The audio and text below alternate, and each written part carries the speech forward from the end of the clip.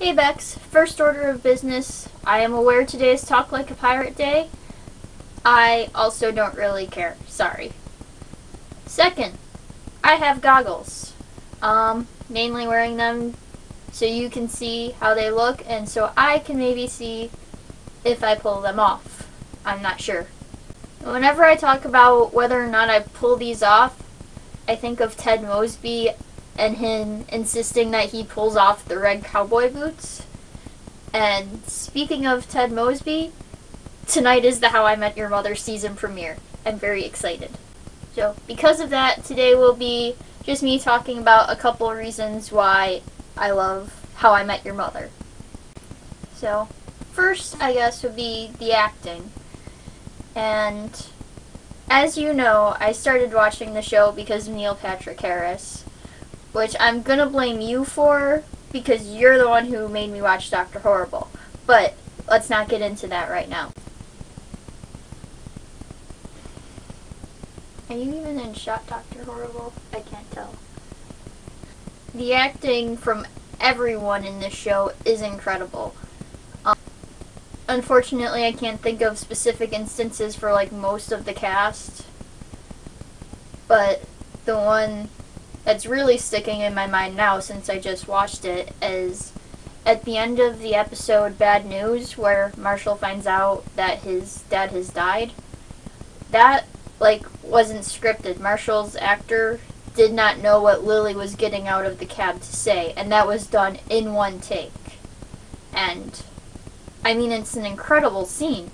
It and so yeah, it yeah, good acting in the show. Another thing I like in the show is the little continuity nods. For instance, as mentioned before, the red cowboy boots that pop up now and then. Um, we also have things like I guess like they showed like a newspaper at one point and one of the little side articles was something about the cockamouse or something like that. In the episode where Lily and Marshall are trying to decide on a name for their child, they end up referencing something that we saw back in the very first episode of the series. So there's all sorts of little continuity things like that.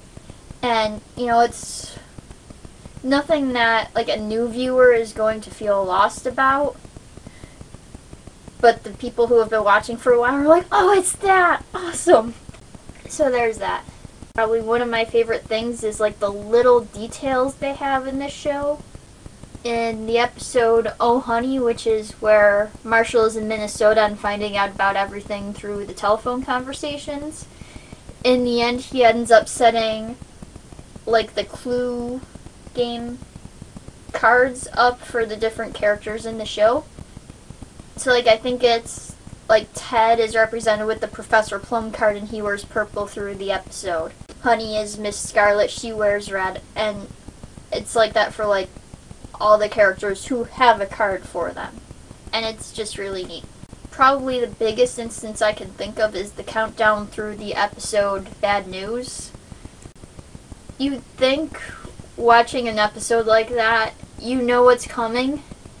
It's not going to make you cry anymore.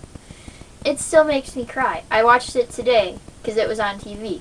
It was at least the third time I have watched it. I still teared up. And I think that's largely because of the countdown through the episode, which I didn't even notice the first time. I like read about it after. But now each time there's that like suspense building up. I know what's coming, but it's still, that countdown is still building suspense, so it gets to like 10 and 9, and I'm like, no! It goes through, and the last number is 1, which is the number on the taxi that Lily gets out of to talk to Marshall, and I'm just wanting to yell at the screen, don't get out of the taxi, it's gonna be bad, and I'm gonna cry, and I'm almost crying again. So, really, it's all the little things that make this show incredible. And I'm really looking forward to what they're going to do next season. I want to find out who Barney is marrying. It better be Robin or I'm going to be mad. So that's really all I can think of to say, and I'm probably close to my time limit. So I'm going to leave it at that, and Bex, I will see you on Wednesday.